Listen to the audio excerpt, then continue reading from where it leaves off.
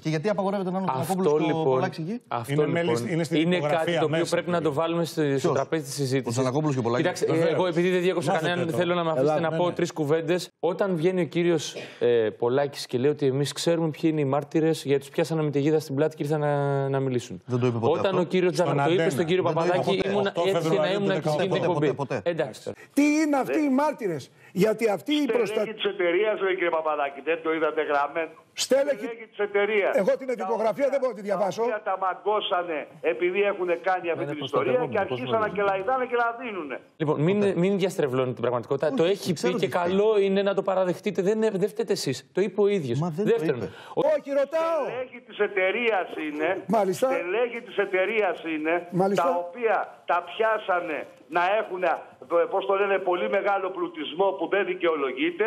Τους πίεσαν και κελάιδησαν. ήμουν και στην ποτέ, εκπομπή. ποτέ, ποτέ. Εντάξει. Εσείς πώς το ξέρετε όμως όλο αυτό αφού δεν είναι Ξεκίνησαν μέρος της αυτή την δικογραφίας. ιστορία. Ε, είμαι ενημερωμένος.